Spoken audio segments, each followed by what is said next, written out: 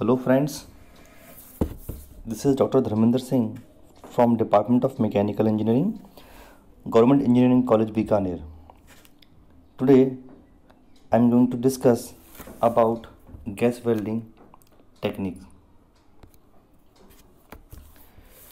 It is the process where various fuels are mixed with oxygen and burned to perform welding.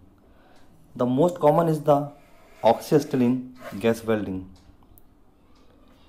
It uses the gases to weld or cut the metals. It was developed in 1903 by the French engineers. In case of oxyacetylene gas welding, the welding is performed by a flame formed by the combustion of oxygen and acetylene. The flame comes from the torch. The pure oxygen is used instead of air to increase the flame temperature and to allow localized melting of the work material at room temperature. A torch is used to weld the metal. In this process, heat transmitted from the flames heats the junction of two metals to certain temperature so that they melt and fuse together.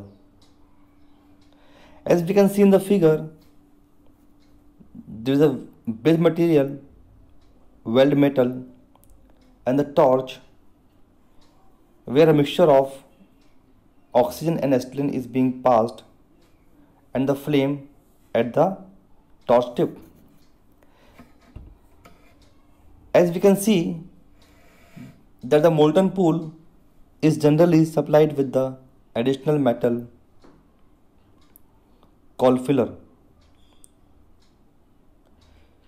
which prevents oxidation and creates a better joint. The selection of filler material depends upon the metal to be welded. The chemical reaction between oxygen and acetylene takes in two stages as mentioned. The first stage that is the inner core, second stage is the outer envelope. The inner core is that where the acetylene and oxygen combines. The tip of the inner cone is hottest point of the flame. In inner cone, the acetylene breaks down and partly burns to hydrogen and carbon monoxide, which in outer cone combines with more oxygen from surrounding air and burns. The figure shows the various equipments used in the gas welding process. Now different types of flames are there in gas welding. First is the neutral flame, second is carburizing or excess acetylene flame, third is oxidizing or excess oxygen flame. The type of the flame produced depends upon the ratio of oxygen to acetylene in the gas mixture which leaves the torch tip. The first flame is the neutral flame. It has two cones, inner cone and the outer cone. It is produced when the ratio of oxygen to acetylene in the mixture leaving the torch is almost 1 to 1. It have no chemical effect on the metal being welded it, and it will not oxidize the base metal or the weld metal. It will also not cause any increase in the carbon content of the weld metal.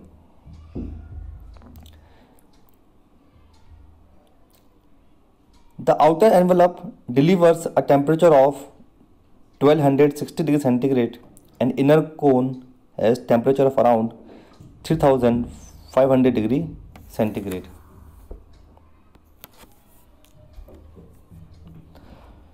The total heat liberated during the two stages of the combustion is 55 into 10 to the power 6 joules per meter cube of acetylene.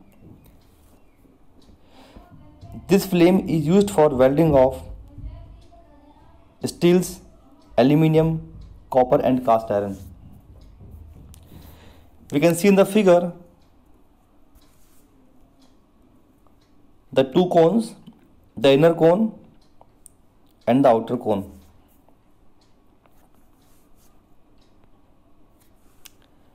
Next is the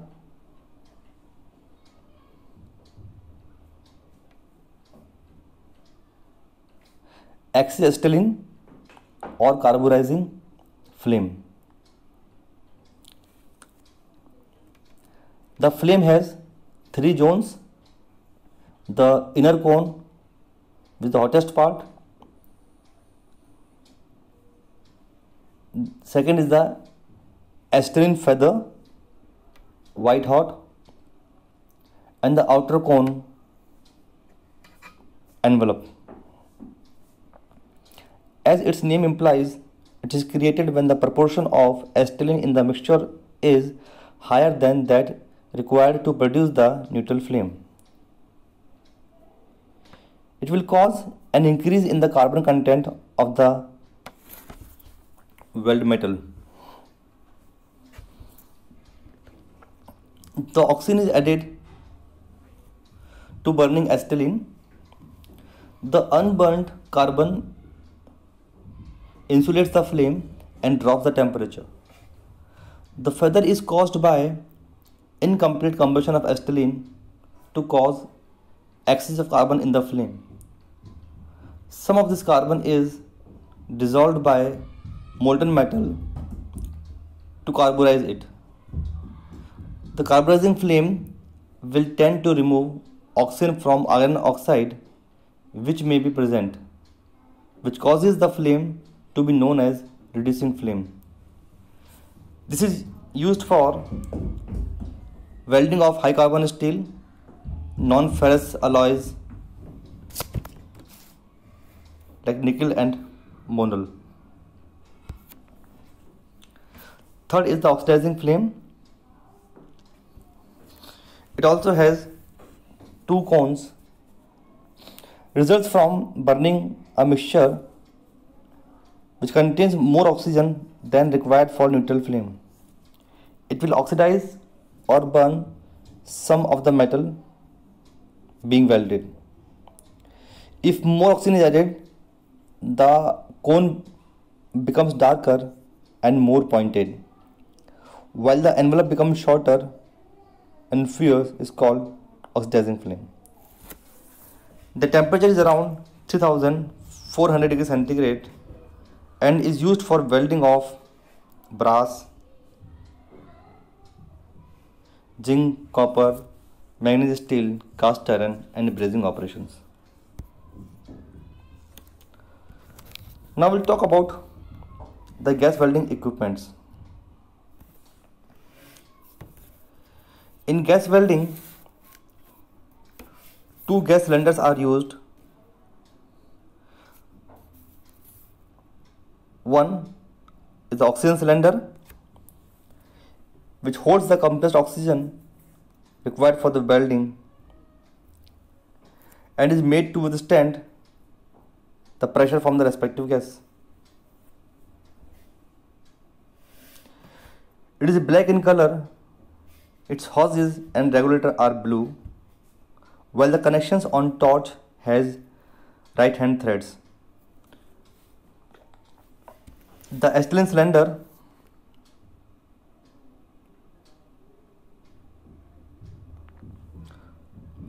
holds the fuel required for the combustion. It is maroon in color. Its hoses and regulator are red, while the connections on the torch has left-hand threads.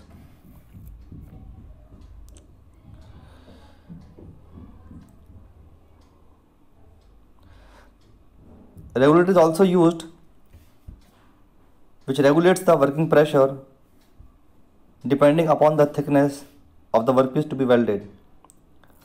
The working pressure of oxygen is around 1 kg per centimeter square while the working pressure of acetylene is around 0.15 kg per centimeter square. We also use pressure gauges, hoses, welding torch, check valve, non-return valve. A mixing chamber is there and it is a housing in which the fuel and oxygen mixes. The control valves are used to regulate the flow of the gases from the cylinder to the mixing chamber. Control valves are used to control the amount of gas being released from the cylinder and both the cylinders have separate control valves. A welding torch contains the mixing chamber and the control valves. The other end of the torch is a nozzle where the fuel oxygen mixture is burnt together. We can see in the figure the two cylinders equipped with hose pipes, pressure regulators, nozzle, torch,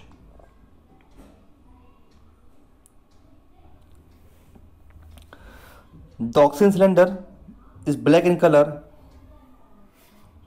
and is a long cylinder while the acetylene cylinder is maroon and it is a little shorter cylinder.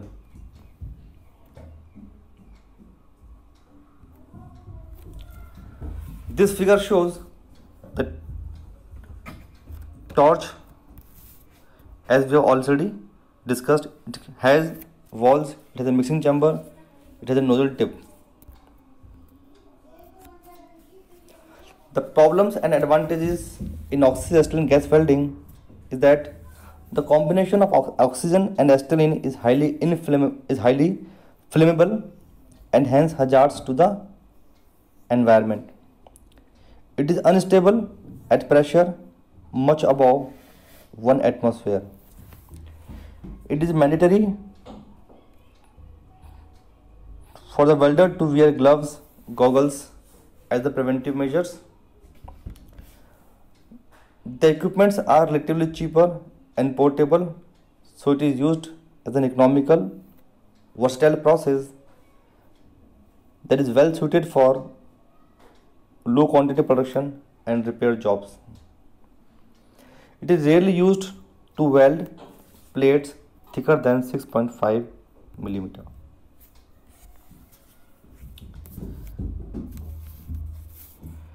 next is the gas cutting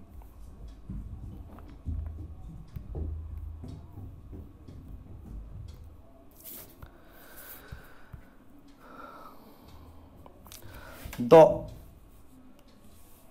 oxyfuels process is most widely applied industrial thermal cutting process because it can cut the thickness from 0.5 millimeter to 250 millimeter. The equipment is low cost and can be used manually or maybe mechanized.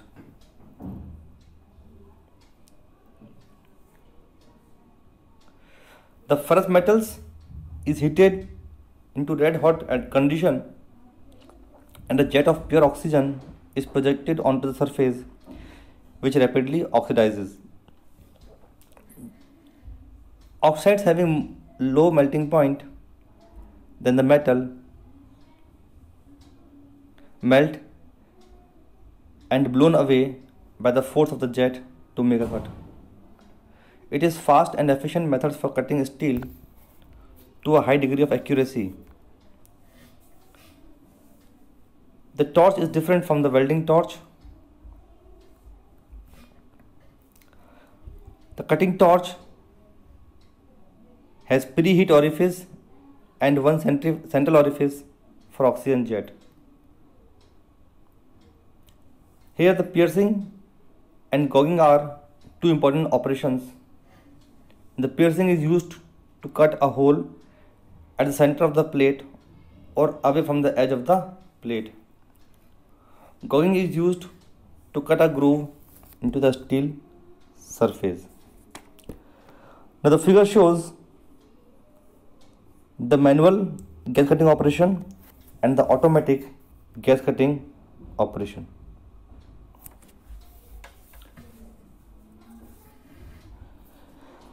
Now the next we are going to start about brazing. In brazing,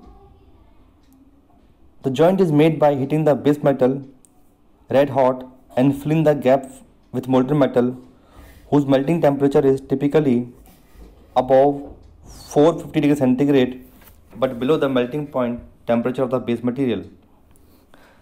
The filler metals are generally copper alloys that is copper zinc, copper silver alloys are used for brazing because they form alloy from iron and have good strength. Soldering is very similar to brazing except that the filler material is usually a lead tin based alloy which has much lower strength and melting point temperature is around 250 degrees centigrade. In this process, less alloying action between the base metal and the filler material as compared to brazing takes place and the strength of the joint is lesser. It is carried out using electrical resistance heating.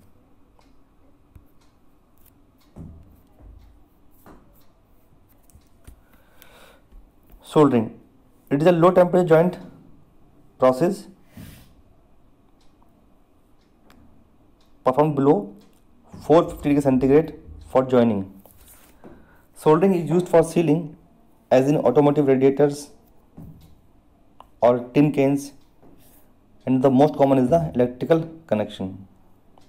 Joining of thermally sensitive components and joining of dissimilar materials. Solder is a filler metal alloy of tin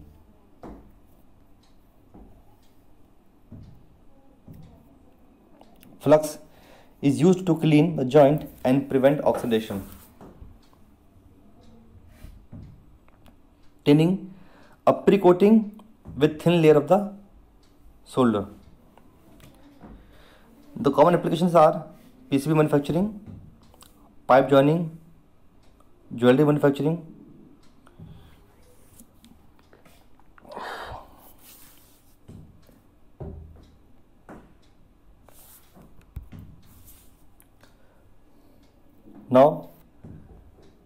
is the sequence of operation for soldering.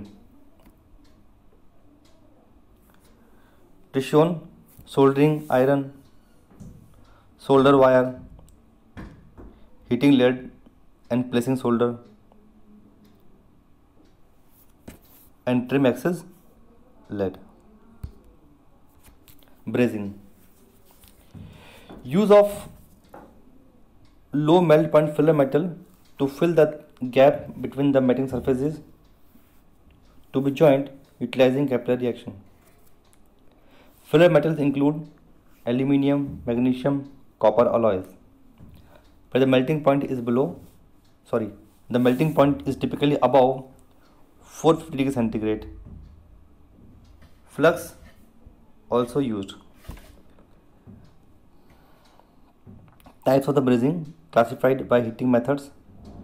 It will be torch, furnace and resistance heating. Its common applications are automotive for joining of tubes, pipe and tube joints, electrical equipments, in joining of wires and jewelry makings. Now we have already discussed in detail about the welding soldering and brazing. So let us have a comparison between welding, soldering and brazing because it is generally being asked from the students in examinations and in interviews. Welding. These are the strongest joints used to bear the load and the strength of the welded joint may be more than the strength of the base material. While in soldering, these are the weakest joints out of the three joints, not meant to bear any load, used to make electrical contacts. Brazing have stronger joints than soldering but weaker than welding. In welding, the temperature required is up to 3800 degrees centigrade of the welding zone to melt the material, while in soldering, the temperature requirement is up to 450 degrees centigrade, while in brazing, it may go up to 600 degrees centigrade. The workpiece to be joined needs to be healed till their melting point in welding. No need to heat the workpiece in soldering and the workpieces are heated but below the melting point temperature in brazing. During welding, it is observed that mechanical properties of the base metal may get changed at the joint or in the heat affected zone due to heating and cooling. While in soldering, no change in properties is observed. While in brazing, it may change, but it is almost negligible. The high cost is involved and high skill is required in welding. In soldering, cost involved and skill requirements are low, while in brazing, cost involved and skill requirements lies between the two. In welding, the heat treatment is generally required to eliminate undesirable effects of welding that varies the mechanical properties of the material. No heat